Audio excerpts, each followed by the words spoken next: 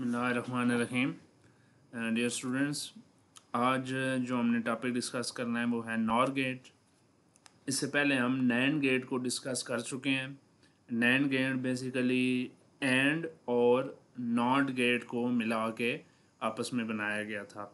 इसी तरह से और गेट और नॉट ऑपरेशन को आपस में कम्बिनेशन इनका मिला के तो नॉर गेट बनाया जाता है।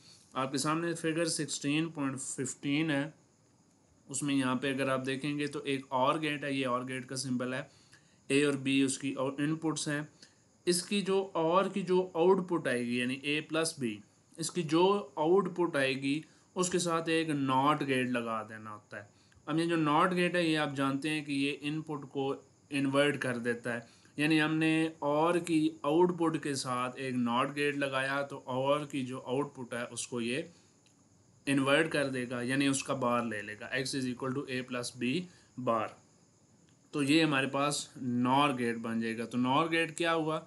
जिसमें हमारे पास जो है वो और गेट के साथ अगर हम एक नॉट ऑपरेशन एक्स्ट्रा लगा देते हैं तो हमारे पास नॉर गेट बन जाता है।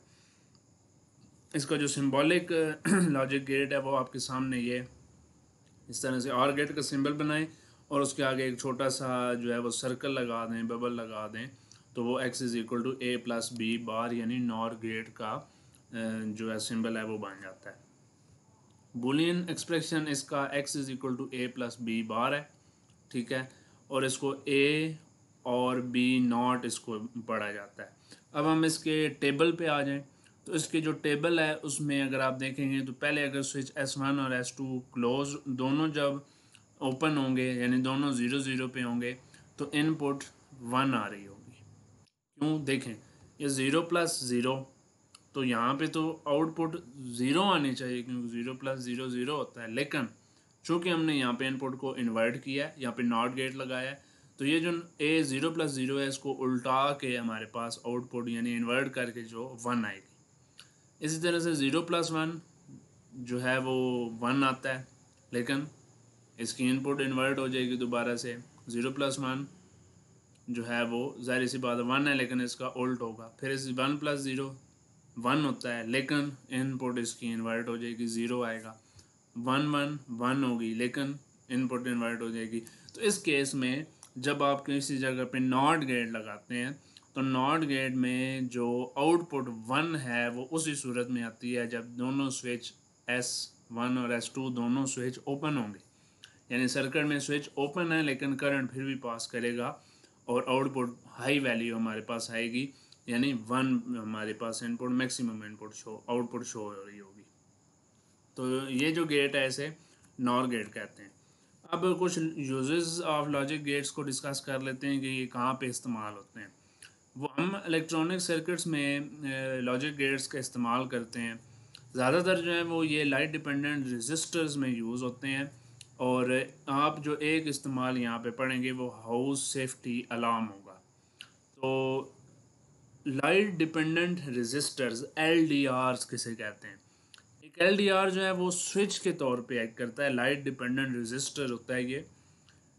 ये उस वक्त क्लोज्ड हो जाता है जब इसके ऊपर लाइट पड़ती है। यानी ये जो स्विच है एल डी आर वाला, ये जिस जब इसके ऊपर लाइट पड़ेगी तो क्लोज्ड हो जाएगा। यानी सर्किट में से करंट को फ्लो करने देगा। और जब डार्क होगा, यानी लाइट नहीं होगी, अंधेरा होगा, उस वक्त ओपन नहीं रहेगा। ठीक है? तो ये लाइन डिपेंडेंट, जब इनके ऊपर लाइट पड़ती है तो इनका जो स्विच है वो क्लोज्ड होता, हो जाता है, सर्किट कंप्लीट हो जाता है, करंट फ्लो करना शुरू हो जाता है। जबकि अगर डार्क है अंधेरा है तो उसमें ही इनका सर्किट जो है स्विच जो है, वो ओपन ही रहता है। हाउस सेफ्टी अलार्म बनाने के लिए हम सिंपली नैंड गेट को यूज़ करेंगे। नैंड गेट को यूज़ इस तरह से करेंगे कि एक एलडीआर एक नैंड गेट है हमारे पास, उसके आगे अलार्म लगा हुआ है। ठीक है? अब एंड गेट के साथ हमने इसका जो बी टर्मिनल है, यानी बी जो इनपुट है, उसके साथ हमने एक LDR को कनेक्ट किया है। उस एलडीआर के साथ बैटरी का पॉजिटिव टर्मिनल कनेक्ट किया।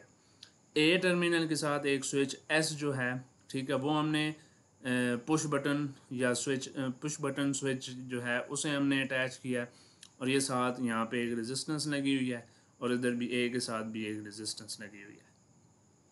अब एलडीआर जो है, वो ज़ाहिर सी बात अभी मैंने आपको बताया कि जब इसके ऊपर लाइट पड़ेगी, ठीक है जब लाइट इसके ऊपर पड़ेगी तो तब ये स्विच क्लोज्ड हो जाएगा। जब ये स्विच क्लोज्ड होगा तो यहाँ से करंट पास होना शुरू हो जाएगा। यानी यहाँ पे इन बी पे जो है वो आपकी जो इनपुट है एलडीआर जो इनपुट वन है बी पे, उस वक़्त कॉज करेगा जब लाइट होगी। ठीक है?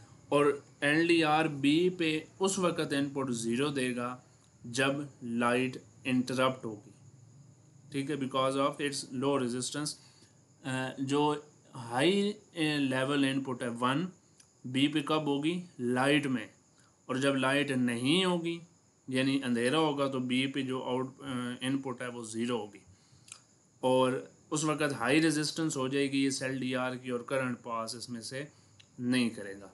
तो लो लेवल सिग्नल जो है, वो ए के ऊपर आता है, और जो स्विच एस है, वो स्टेप मैन बल्जर अलार्म्स जो है वो उस वक़्त साउंड करेगा जब लाइट एल डी आर के ऊपर फॉल हो रही होगी।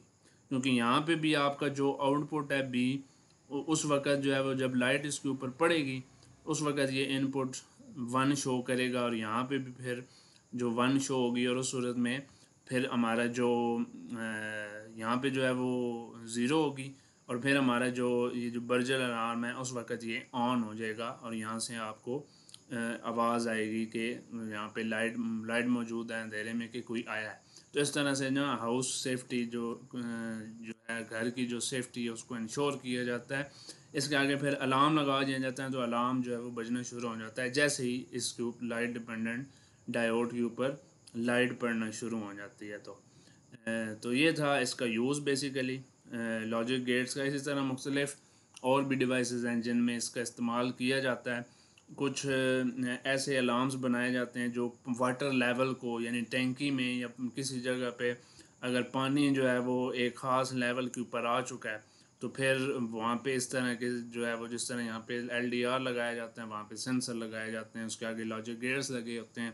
इस तरह से वो सेंस करते हैं कि पानी इस लेवल पे आ चुका है तो वो अलार्म फिर बजना स्टार्ट हो जाता है। वाटर लेवल जो है ना, उसको भी मैयर करने के लिए ये चीज़ को, इस चीज़ को यूज़ किया जा सकता है। तो ये थे